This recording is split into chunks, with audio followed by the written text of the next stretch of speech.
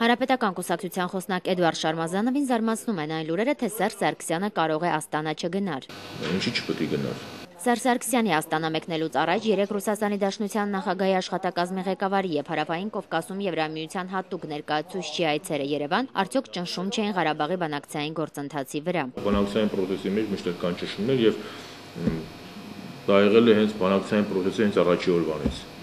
դա չեն շղթել ոչ առաջին, ոչ երկրորդ, ոչ երրորդ նախագահ։ Ինչ վերաբերում է Աստանայում նախատեսված Սերժ Սարգսյան Իլհամ Ալիև հանդիպմանը, ապա արդյունքների մասին խոսելը Շարմազանովը համարում է վաղ։ Խնդիրը չի կարող թևակողել վերջնական փուլ, որովհետև ի վերջո նույն ՄԱԿ-ի 4 բանաձևերով հստակ նշված է, որ կոնֆլիկտի կողմերը ոչ թե Հայաստանն ու Ադրբեջանն են, այլ կոնֆլիկտի կողմերը դա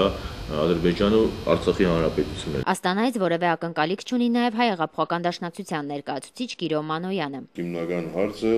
Ղարաբաղի ղեկավարիչն է եւ առանց Ղարաբաղի ղեկավարիչի Ադրբեջանի գեցվածքի փոփոխություն մենք իմ ճունենք ինչ որ լուրջ առաջընթաց ակնկալելու։ Առավելագույնը, որ ես սպասում եմ Աստանայից, դա հրճակագրային ինչ-որ փաստաթղթի ստորագրումն է,